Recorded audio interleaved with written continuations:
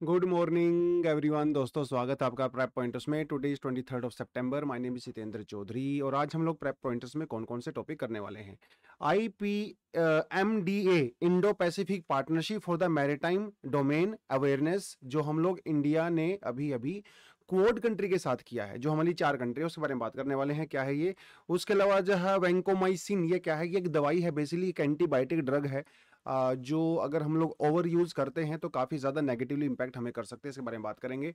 उसके अलावा under water drones ये हम लोगों ने फ्रांस के साथ एक डील करने वाले हैं, फ़िलहाल किया नहीं है, बातचीत चल रही है, इसके बारे में बात करने वाले हैं। उसके अलावा सस्टेनेबल एविएशन फ्यूल ये हम लोगों ने अग्रीमेंट किया है ब्राज़ील के साथ।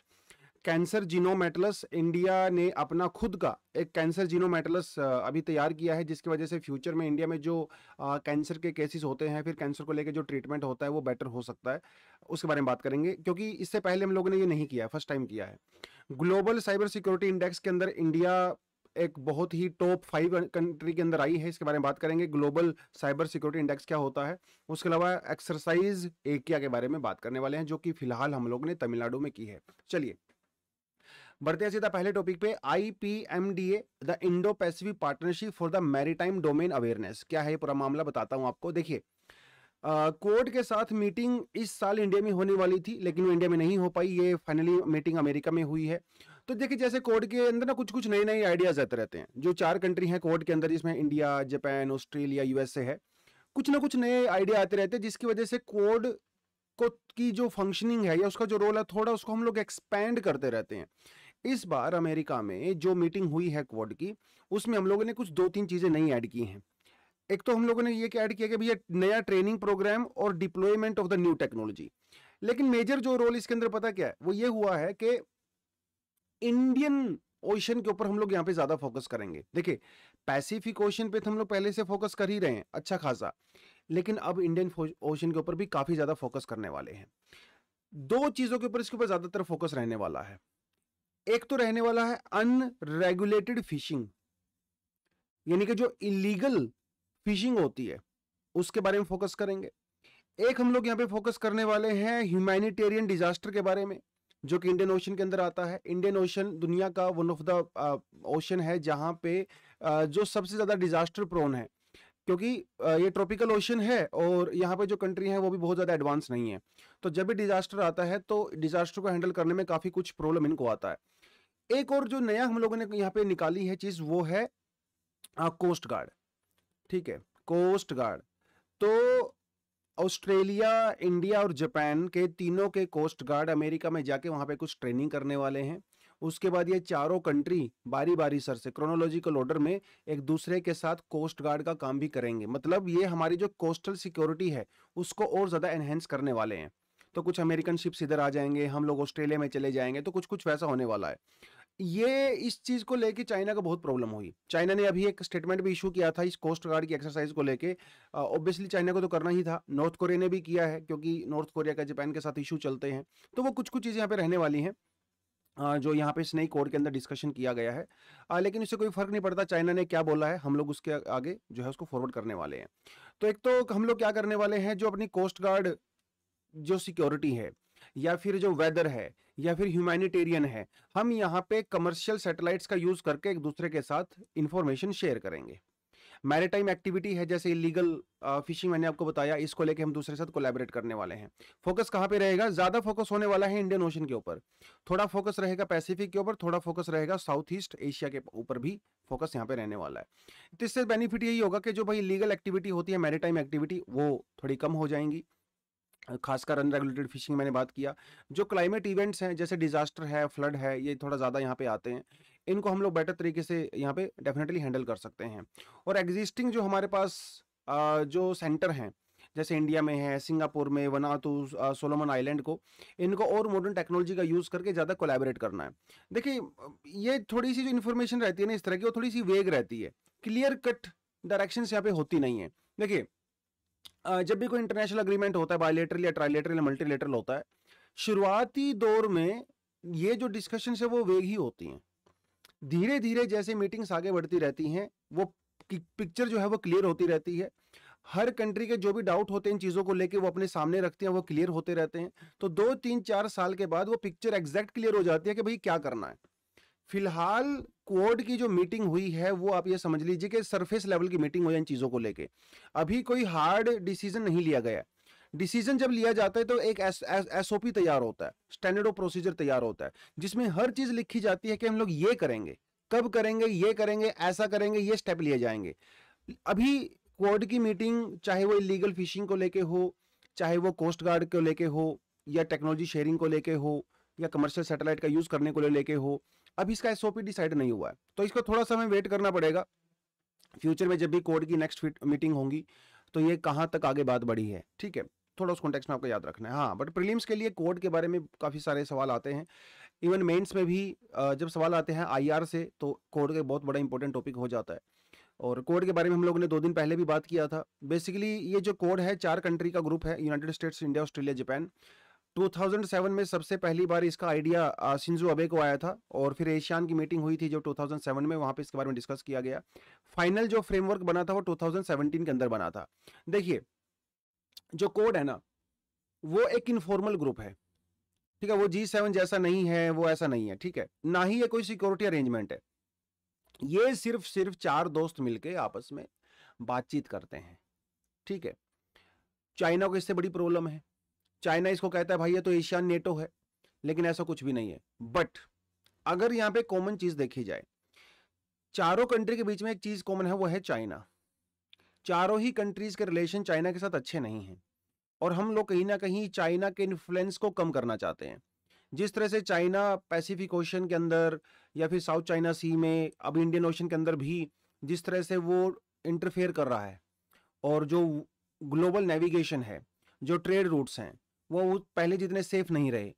तो चारों कंट्री का एक कॉमन एक जो मोटिव है यही है कि जो इंटरनेशनल नेविगेशन वो थोड़ा सेफ़ रहे सिक्योर रहे और इंटरनेशनल ऑर्डर को फॉलो करे जैसा पिछले पचास साठ सालों से फॉलो हो रहा है वैसा करते रहे।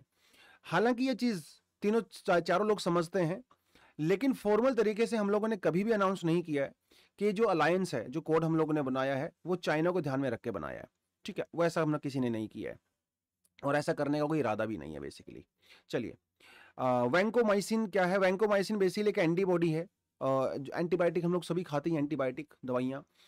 ये एंटीबायोटिक थोड़ी सी एडवांस होती है, जब किसी आदमी को कोई ऐसा डिसीज हो जाता है, जो कि यूजुअल एंटीबायोटिक से ठीक नहीं हो रहा है तो उसको ये थोड़ी सी एडवांस लेवल की जिसे हम लोग कई बार सेकेंडरी लेवल भी बोलते हैं ट्रीटमेंट बोलते हैं सेकेंड डिफेंस ट्रीटमेंट भी बोलते हैं, वो दी जाती हैं। देखिए एंटीबायोटिक तो सभी खाते हैं, है ना? हमारे देश में तो इतना ज़्यादा खाते हैं, और एंटीबायोटिक रेजिस्टेंस भी हमारी बॉडी में हो जाता है। जब आप बहुत ज़्यादा एंटीबायोटिक खाने लगते हो तो हमारी बॉडी फिर एंटीबायोटिक के का असर लेने का कम कर देती है।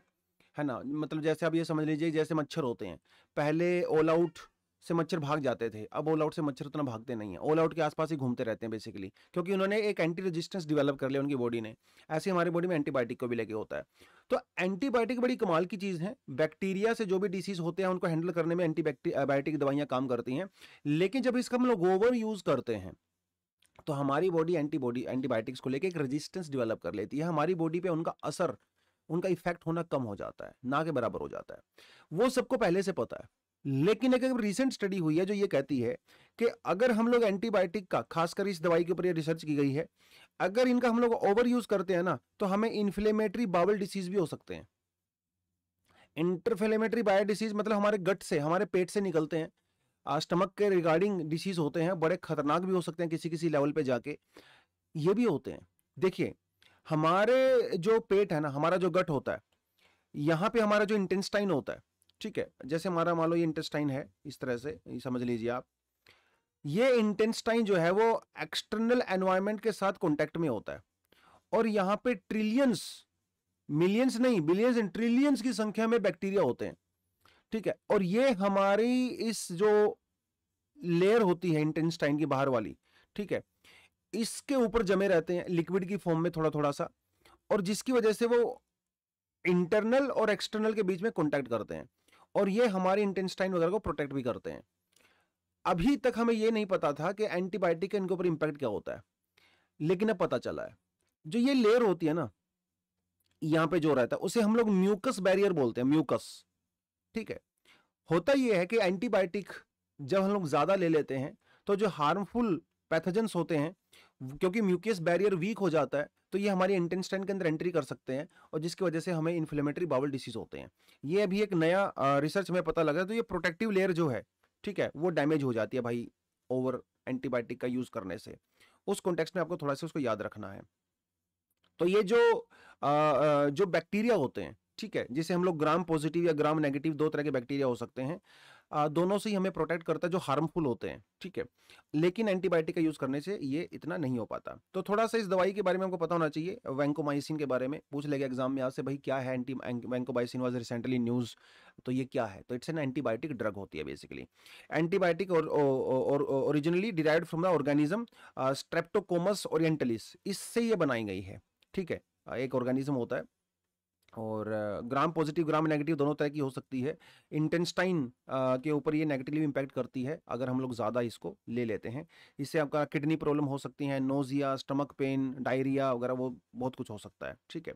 इन इन्फ्लेमेटरी बायोल डिसीज हम लोगों ने दो हफ़्ते पहले भी ये टॉपिक किया था। तो गैस्ट्रोनोम इंटेंस्टाइन ट्रैक जो होता है हमारा, जहाँ से खाना पचता है इंटेंस्टाइन छोटी इंटेंस्टाइन बड़ी इंटेंस्टाइन उसके रिगार्डिंग ये होता है। बाकी अगर यहाँ पे कुछ डिस्टर्बेंस होती है तो हमारे माउथ और हमारे एनस तक भी इम्पैक्ट जो है इसका नज़र आता है और कई बार ये बड़ा खतरनाक भी हो सकता है। यूजली उन लोगों को होता है जो बहुत ज़्यादा एंटीबायोटिक लेते हैं, उन लोगों को होता है जिनकी फैमिली हिस्ट्री होती है, उन लोगों को होता है जिनका इम्यून सिस्टम थोड़ा सा वीक होता है, उनको ये थोड़ा ज़्यादा हो जाता है। चलिए अंडर वाटर ड्रोन बेसिकली अभी हमारे जो एनएसए हैं मिस्टर अजीत दोवल जी वो फ्रांस में गए हुए हैं और इस बार जो रिपब्लिक डे की परेड पे हैं वही फ्रांस के प्रेसिडेंट भी आने वाले हैं, वहाँ के डिफेंस मिनिस्टर भी आने वाले हैं।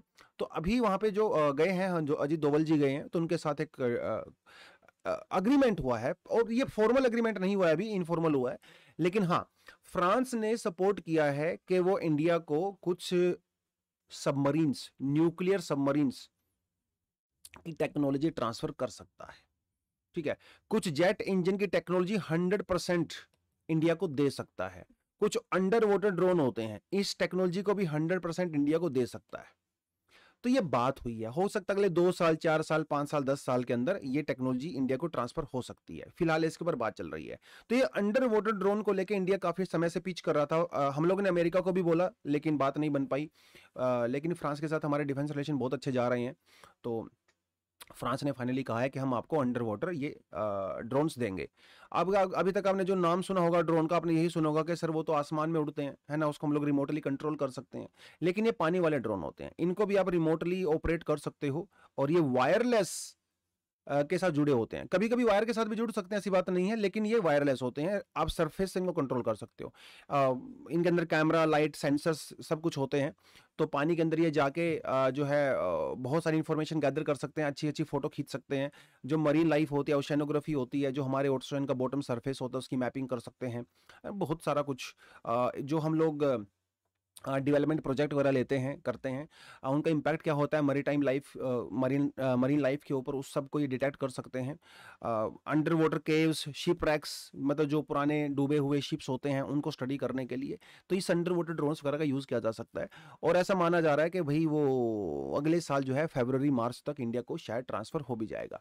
टेक्नोलॉजी ट्रांसफ़र होने तो थोड़ा समय लगता है, लेकिन हाँ वो ड्रोन्स हम लोगों को फ्रांस से जल्दी ही मिल सकते हैं। उस कॉन्टेक्स्ट में थोड़ा सा आर्टिकल दिया गया था। चलिए।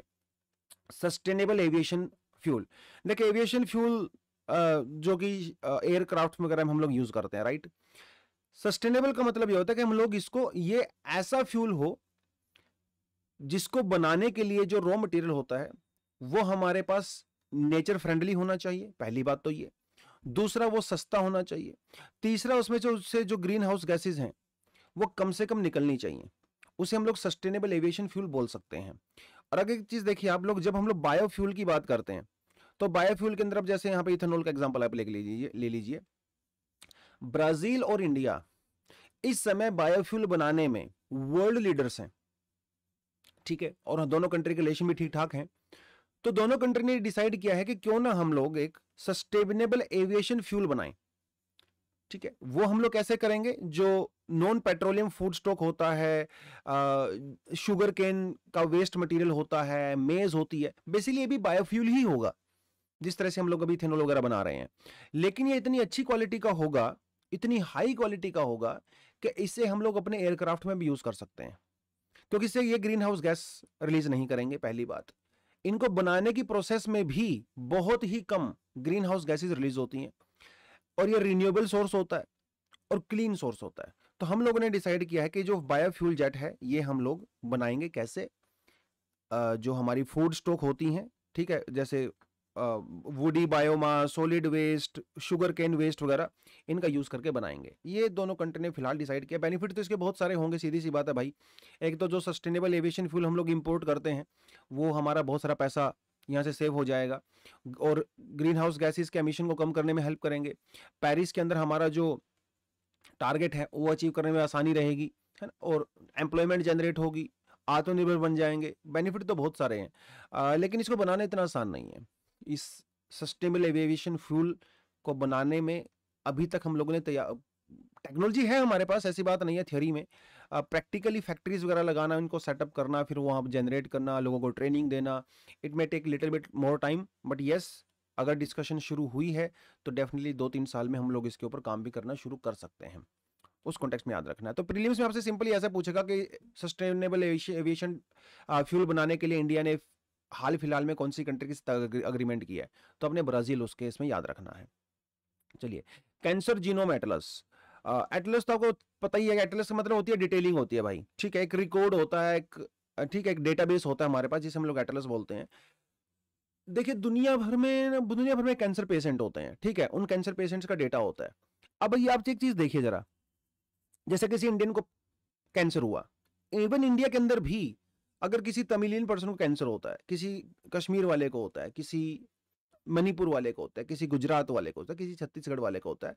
हम लोगों का थोड़ा थोड़ा जेनेटिक वेरिएशन थोड़ा थोड़ा अलग रहता है, ठीक है? अगर किसी जापान वाले का होता है, उसका अलग होता है, अमेरिका वाले का अलग रहेगा, अफ्रीका वाले का अलग रहेगा थोड़ा थोड़ा अलग रहता है, क्योंकि हमारी बायोलॉजी हमारा जो डीएनए आ रहे हैं, वो थोड़ा थोड़ा डिफर करता है। हमारे जो प्रोटीन प्रोफ़ाइल होते हैं थोड़ी थोड़ी डिफरेंट करती है। इसका मतलब ये हुआ कि अमेरिका में अगर किसी महिला को ब्रेस्ट कैंसर है और इंडिया में किसी महिला को अगर ब्रेस्ट कैंसर है, दोनों के लिए आप सेम ट्रीटमेंट नहीं दे सकते। दोनों को अगर आप सेम मेडिसिन दोगे तो शायद दोनों के ऊपर उस मेडिसिन का असर थोड़ा अलग अलग हो सकता है। अभी तक हमारे डॉक्टर्स क्या कर रहे थे, हम लोग वेस्टर्न कंट्रीज़ का जो कैंसर का डेटाबेस था, उसको यूज़ कर रहे थे और उसके हिसाब से अपना ट्रीटमेंट कर रहे थे, जिसकी वजह से ये ट्रीटमेंट इंडियन पॉपुलेशन के ऊपर उतने इफ़ेक्टिव नहीं हो रहे थे। इट्स अ रियलिटी अब हुआ क्या है? हम लोगों ने अपना खुद का एक कैंसर जीनोम एटलस तैयार किया है इंडिया में, जिसके अंदर अभी 50 के लगभग ब्रेस्ट कैंसर पेशेंट्स की डिटेल है।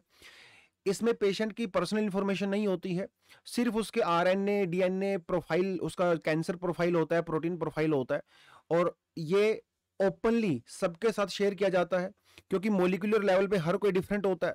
तो इसमें यह होगा कि जो इंडियन डॉक्टर है, वो इंडियन पेशेंट, जो कैंसर पेशेंट है उसको स्टडी कर सकता है। ठीक है? अगर छत्तीसगढ़ में किसी महिला को ब्रेस्ट कैंसर हुआ है, अगर उसकी पूरी डिटेल अगर वहाँ पे है उस पोर्टल के ऊपर तो एक गुजरात में बैठा हुआ डॉक्टर उसको स्टडी कर सकता है और उसको ये पता चल जाएगा कि भाई अच्छा इसको ये ट्रीटमेंट हम लोगों ने दिया, ये दवाई हम लोगों ने दी, इससे इसका ये इफ़ेक्ट हुआ, वो ठीक हुआ, नहीं हुआ, ये एंड प्रोडक्ट निकला। तो हमारे लिए, क्योंकि अब हम इंडियन पॉपुलेशन को इंक्लूड कर रहे हैं तो कैंसर का ट्रीटमेंट करना भी बेटर हो जाएगा इंडियन डॉक्टर्स के लिए, ठीक है? और इंडिया के अंदर भी हम लोगों ने थोड़ा अलग अलग किया है मतलब जैसे नॉर्थ ईस्ट की पॉपुलेशन के लिए थोड़ा अलग कर दिया सदर्न इंडियन पॉपुलेशन के लिए थोड़ा सा अलग कर दिया, सेंटर के लिए अलग से कर दिया, क्योंकि हमारे अंदर भी थोड़ा थोड़ा डिफरेंस रहता है। तो इससे जो है ट्रीटमेंट बहुत ज़्यादा कॉस्ट इफ़ेक्टिव हो जाएगा टाइम सेविंग हो जाएगी और सबसे बड़ी बात अभी ट्रीटमेंट ज़्यादा इफ़ेक्टिव हो जाएगा, क्योंकि अभी हमें एक ऐसे पेशेंट की हिस्ट्री पता है जो हमारे करंट पेशेंट से काफ़ी ज़्यादा मैच करता है। अब वो यूरोप के ऊपर हम लोग रिलाई नहीं करेंगे उतना ज़्यादा। उस कॉन्टेक्स्ट में हम लोग ने बनाया था। तो ये जो इंडियन कैंसर जीनोम है, ये एक not for profit public private philanthropic philanthropic मतलब समझते हो ना? मतलब इंसानी भलाई के लिए काम करना वेलफेयर के लिए काम करना। वो सब हम लोगों ने बनाया है। इसमें government agency cancer hospitals even patients भी इसमें इन्वॉल्व हैं। तो बेटर एक्सेस के लिए और हम लोगों ने ये एक मल्टी ऑप्टिक्स जो है वो ओमिक्स एक डेटाबेस बनाया है। मल्टी, ओमिक्स का मतलब ये होता है कि जो बायोलॉजिकल एनालिसिस अप्रोच होती है हमारी, वो हम लोग इस तरह से कर सकते हैं कि हमारे पास रेफरेंस पॉइंट होते हैं। तो अलग अलग पेशेंट के अभी हमारे पास रेफरेंस पॉइंट होंगे। अभी फ़िलहाल जो हमारा फोकस है, वो ब्रेस्ट कैंसर के ऊपर रखा गया है। बट फ्यूचर में हम लोग जो है दूसरे टाइप के कैंसर भी यहाँ पे इंक्लूड करेंगे। ठीक है जी, चलिए। ग्लोबल साइबर सिक्योरिटी इंडेक्स तो सभी को बधाई हो इंडिया को finally global cyber security index में टीयर वन स्टेटस में रखा गया है। टीयर वन स्टेटस वो कंट्रीज़ होती हैं जो कि 95 से लेके 100 के बीच में जिनका स्कोर होता है, और ये काफ़ी मॉडल कंट्री मानी जाती हैं। मतलब साइबर सिक्योरिटी वाले केस में you can say they are the number one tier one category में। और इंडिया का यहाँ पे स्कोर रहा है दैट इज़ 98.49 कुछ गिनी चुनी ही कंट्री ऐसी हैं जो कि टीयर वन के अंदर रखी गई हैं मोस्टली यूरोपियन कंट्रीज़ हैं तो इंडिया को उसके अंदर रखा गया है। तो ये एक हमारे लिए एक तरह का अचीवमेंट भी है। और मतलब ऐसा इंडियन गवर्नमेंट या इंडियन जो एजेंसीज हैं, कुछ ना कुछ अच्छा ही कर रही होंगी साइबर सिक्योरिटी वाले केस में जिस वजह से रैंक आया है है ना? हर साल तो नहीं आता। तो उस परस्पेक्टिव से थोड़ा आप इसको याद रखना है। जो इंडिया जो इंटरनेशनल टेलीकॉम ऑर्गेनाइजेशन है, उनके द्वारा ये पब्लिश किया जाता है हर साल। और इंडिया में चाहे आप लीगल प्रिपेयर्डनेस माने, अभी इंडिया के अंदर जैसे कुछ लॉज हम लोगों ने निकाले हैं आईटी सेक्टर आईटी एक्ट 2000 को भी हम लोगों ने मोडी थोड़ा सा अमेंडमेंट किया है टेलीग्राफ एक्ट को भी किया है, अभी हम हम लोगों ने सोशल मीडिया के लिए एथिकल गाइडलाइंस भी निकाली हैं तो कुछ ना कुछ ऐसे लीगल चीज़ें इंडिया में हो रही हैं डिजिटल इंफ्रास्ट्रक्चर को सिक्योरिटी वाइज स्ट्रॉन्ग करने के लिए। तो उसका एक विजिबल सा यहाँ पे रिज़ल्ट हमें नज़र आ रहा है। उसके अलावा सेक्टरल सपोर्ट भी है। कई सारी टेक्निकल चीज़ें आजकल हम लोग कर रहे हैं। जैसे सीसीआरटीएस वगैरह हो गया। अमेरिका के साथ अभी अभी हम लोगों ने एक बड़ी शानदार डिजिटल सिक्योरिटी के लिए मीटिंग और टेक्निकल ट्रेनिंग भी किया था हम लोगों ने। उसके अलावा कुछ कैंपेन्स वगैरह चल रहे हैं। भाई कॉलेजेस वगैरह में भी एथिकल हैकिंग को लेकर नए नए कोर्स इंक्लूड किए गए हैं। और उसके अलावा गवर्नमेंट और प्राइवेट ऑर्गेनाइजेशन भी अभी बेटर रिपोर्ट कर रही हैं। सीसीआरटीएस ने तो सीधा कह दिया है। जो भी ऑर्गेनाइजेशंस के ऊपर अटैक होता है कि within twenty four hours आप हमें इन्फॉर्मेशन दीजिए कि आपके ऊपर साइबर अटैक हुआ है। अगर नहीं करोगे तो भैया आपके ऊपर फाइन लगेगा, हैवी फाइन लगेगा। पहले क्या होता था, ये ऑर्गेनाइजेशन के ऊपर जो साइबर अटैक होता था ना, ये बताते ही नहीं थे। इनको लगता था अरे यार, हमारी रेटिंग डाउन हो जाएगी, लोगों के बीच में हमारा ट्रस्ट कम हो जाएगा। लेकिन सीसीआरटीएस ने सीधा सीधा कह दिया, अगर आप बाद में पता चलता है कि आपके ऊपर अटैक हुआ था और हमें नहीं बताया तो भाई आपके ऊपर हैवी फाइन लगेगा, आपका लाइसेंस भी कैंसिल हो सकता है। तो उसके बाद जो है वो रिपोर्टिंग थोड़ी बेटर हुई है इंडिया में और ऑब्वियसली बात है जो रिपोर्टिंग बेटर होती है तो काम अपने आप ही बेटर हो जाता है। तो इंटरनेशनल कोऑपरेशन वगैरह भी हम लोग कर रहे हैं, ठीक है? तो ग्लोबल साइबर सिक्योरिटी इंडेक्स के बारे में थोड़ा सा बता, वैसे मैंने आपको बता दिया है कि इंटरनेशनल टेलीकम्युनिकेशन यूनिट के द्वारा इसको किया जाता है। साइबर सिक्योरिटी को लेके कमिटमेंट इनका है, उसके अलावा थर्टी थाउज़ेंड वेबसाइट और वन थाउज़ेंड पी को इसमें पूरा स्टडी किया जाता है फॉर द एक्यूरेसी पर्पज ठीक है, चलिए। एक्सरसाइज एक क्या तो क्या का मतलब होता है वननेस तमिल भाषा में क्या का मतलब होता है वननेस टुगेदरनेस होता है। तो अभी नेशनल डिजास्टर मैनेजमेंट अथॉरिटी ने सदन कमांड के साथ मिलकर तमिलनाडु के अंदर दो दिन का एक एक्सरसाइज एक क्या किया है। इसमें हुआ ये कि इंडिया के अलग अलग स्टेट से, जो कि डिजास्टर मैनेजमेंट की एजेंसीज हैं और जो नेशनल लेवल पे हमारी डिजास्टर मैनेजमेंट एजेंसी हैं, उन सबने आपस में मिलकर बैठ के वहाँ पे बात किया और अलग अलग टॉपिक पे बात किया। इवन आज के समय में जो प्रॉब्लम है, उनके ऊपर तो डिस्कस किया ही है। जो पास्ट में, ठीक है हिस्ट्री में डिजास्टर मैनेजमेंट का क्या इंपैक्ट रहा है, वो भी हम लोगों ने डिस्कस किया है। जैसे आप एक एग्जांपल दे सकते हो, जैसे हड़प्पा सिविलाइजेशन की हम लोग बात करते हैं। ठीक है राखिन गढ़ी एंड ऑल दैट ऐसा माना जाता है कि उसके डिक्लाइन का एक बहुत बड़ा रीजन नेचुरल डिजास्टर भी हो सकता है। ड्रोट्स हो सकते हैं फ्लड हो सकता है फैमिन हो सकता है, कोई वायरस अटैक हो सकता है। ऐसा हो सकता है। There are lot of evidence for that तो ऐसा ही नहीं जैसे आप मायन सिविलाइजेशन की बात करें, अगर साउथ अमेरिका में आप जाएँगे तो सेंट्रल अमेरिका में जाएँगे तो बहुत सारी सिविलाइजेशन ऐसी हुई जो किसी ना किसी नेचुरल डिजास्टर की वजह से या तो खत्म हो गई या डिक्लाइन हो गई। उन सब के बारे में बात किया गया। और उसके अलावा जो मॉडर्न प्रॉब्लम्स हैं, उनके बारे में बात किया गया कि भैया कैसे प्रिपेयरनेस करें प्रिपेयर अपने आप को करेंगे हम लोग, थोड़ा फंडिंग वंडिंग का तरीका भी अपनाया गया है। देखिए इंडिया दुनिया की ऐसी गिनी चुनी कंट्रीज़ में आती है जो सबसे ज़्यादा डिजास्टर प्रोन है, खासकर जो साउथ इंडियन स्टेट्स हैं। यहाँ पे सुनामी साइक्लोन्स को लेके काफ़ी ज़्यादा प्रोन रहता है है ना? उस कॉन्टेक्स्ट में। तो इंडिया का टू जी टू परसेंट जी हर साल हम लोग लूज कर देते हैं because of the natural disasters खासकर सदर इंडियन स्टेट जो कि बहुत ज़्यादा वनरेबल है for the cyclones and the floods even tsunamis also ठीक है तो उस कॉन्टेक्स्ट में थोड़ा आपने इसको याद रखना है। इवन तमिलनाडु काफ़ी प्रोएक्टिव है डिजास्टर मैनेजमेंट को लेके केरला भी काफ़ी प्रोएक्टिव है।